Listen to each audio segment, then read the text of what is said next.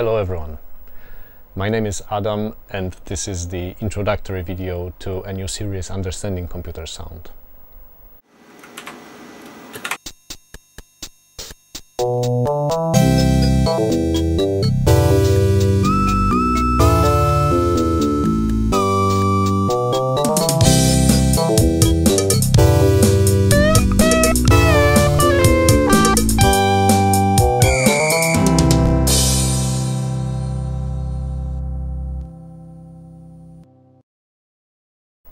When composing the intro tune which you have just heard, I used several techniques and mi mixed them together. All of those were computer sound generation techniques. One of them was pulse width modulation, using a computer which only provided one bit sound output.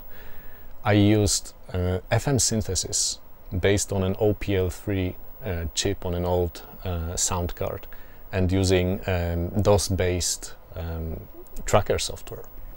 I used another piece of software, also DOS-based, to generate MIDI messages and send them to a tone generator to generate the um, uh, drum background uh, in the second part of the tune. And finally, I used modern digital sound processing techniques to record the uh, guitar riff.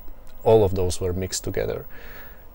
And even though as many as I think four techniques were used in that intro tune, they only represent a fraction of what methods were developed during the two decades of computer sound history that basically shaped what computer sound currently is. And those two decades were the 80s and the 90s mostly, when we saw an explosion of various methods, hardware, techniques, software that were used uh, to generate sound on computers, both in games and uh, for professional use. We will be looking at those two decades closely, and that's what the whole series is about. Let's keep in mind that I'm not a sound engineer and I'm not a musician. I'm just a fan of retro computers who started looking closer and closer and closer at um, the various sound techniques and sound uh, hardware used in uh, in computers. And I just decided to hey okay it, it shouldn't just go in vain and uh, I shouldn't do just the learning on my own. Why don't I share that uh, share share what I learned with the rest of the world? So that's what the series is about. At this point I only recorded uh, four episodes uh, so I'm don't even I'm not even sure what's ahead of us. I know that I want to explore all the various parts uh, and aspects of computer sound uh, generation. I'm gonna be talking about uh, one-bit output, sound output computers like this one. I will be talking about more advanced, but more advanced chips, but are still used in 8-bit computers.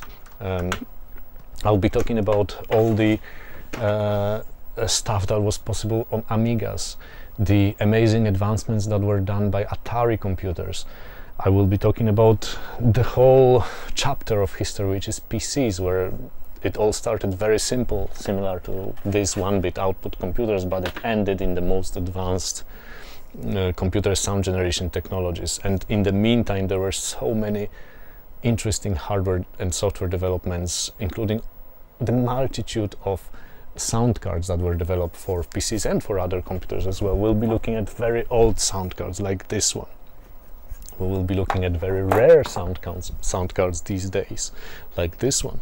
Uh, we'll be looking at uh, expansion cards to sound cards, like this one here. Uh, so there's so much to explore uh, ahead of us, and I'm really looking forward to that adventure.